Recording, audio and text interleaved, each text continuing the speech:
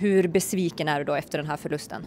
Nej, det är klart efter, efter den första perioden som, som, som vi gör. Det, det är inget roligt. Vi, vi ligger efter hela tiden och de är på tårna och, och då blir det sådana siffror i första perioden. Och, ja, det är klart det är, det är en tung förlust och nu gäller det att se, se framåt här. Vi har Edmonton på onsdag och Calgary på torsdag och då gäller det att vara bättre.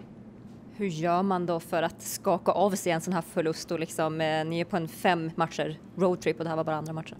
Ja, det är väl, vi måste gå tillbaks till där allt startar. Vi måste vinna närkamper och spela lite enklare och, och komma tillbaks till vårt spel på så sätt. Vi, vi, kan inte, vi kan inte fokusera på hur vi ska göra mål eller när vi ska göra mål utan gå tillbaks till, till ruta ett och jobba hårt och jobba för varandra. Och, ja, det är tungt just nu men, men eh, på onsdag vänder det.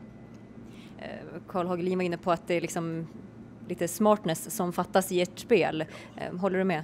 Ja, absolut. Vi, vi, inte, vi gör ingen bra första period och gör inte bättre för att vi, vi ska börja chansa och, och leta efter målen utan det gäller att, att spela rätt hockey hela tiden och, och vinna de där 50-50 puckarna. De var lite hetare än oss i första och, och då blir det, blir 5-0 i baken och det, det är svårt att, att komma ikapp från det.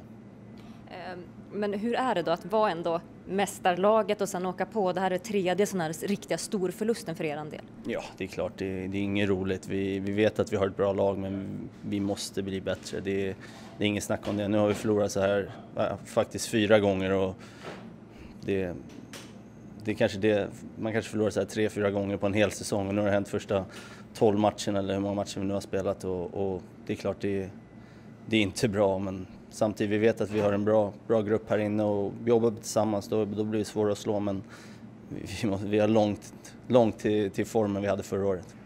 Vad konkret eh, känner du är första steget ni måste ta i ert spel för att det ska bli bättre? Nej, det är att vinna 50-50 puckarna. Vi, vi ligger efter hela tiden där, eh, hela säsongen känns det som och, och, då, och då blir det att andra laget får fler målchanser och, och, och längre tryck i, i, i anfallszonen än vad vi får i deras anfallszon. Och det, är där, det är där matcherna brukar vinnas så att uh, vi måste bli bättre där och, och jobba mer för varandra.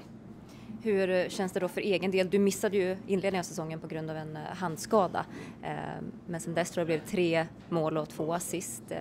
Hur känner du om ditt eget spel? Nej, det är lite samma som laget. Vi, vi alla fuskar där ute och jag är en av dem också så att det, vi, vi måste, vi kommer ju alltid tillbaka till det där men nej, gå, kolla oss i spegeln och, och se till att vi gör vårt bästa nästa match och, och då, då har vi ett bra lag och det är det som gäller nu.